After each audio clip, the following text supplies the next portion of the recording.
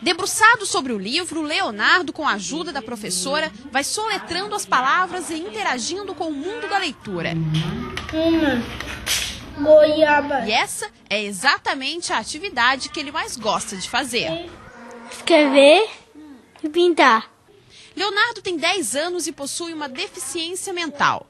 Assim como as outras crianças da classe, ele faz parte do SAED, Serviço de Atendimento Especializado da PAI de Gravatal. Aqui, cerca de 18 crianças entre 6 a 14 anos têm atividades de alfabetização que completam o trabalho realizado na escola do ensino regular. A cada semana, a professora visita as escolas, observando como anda o desempenho desses alunos especiais.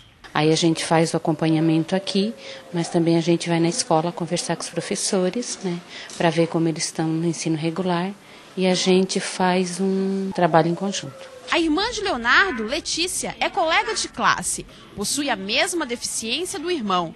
Ela também, apesar de algumas dificuldades, consegue ler e escrever. E mesmo tímida, conta o que mais gosta de ler. História.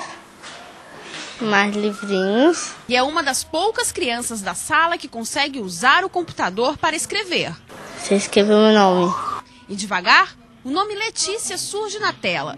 Junto com ele, vem a satisfação da professora de conseguir criar métodos para colaborar na aprendizagem dessa menina. Letícia ela não tinha, não se interessava pelas atividades. Depois que eu comecei a trazer as novas atividades, como xerox e adaptar para eles, foi onde ficou mais fácil para eles resolver. Como cada aluno possui um tipo de necessidade, a professora conta com alguns materiais auxiliares para ajudar na aprendizagem deles, como jogos, exercícios de pintura e o próprio computador.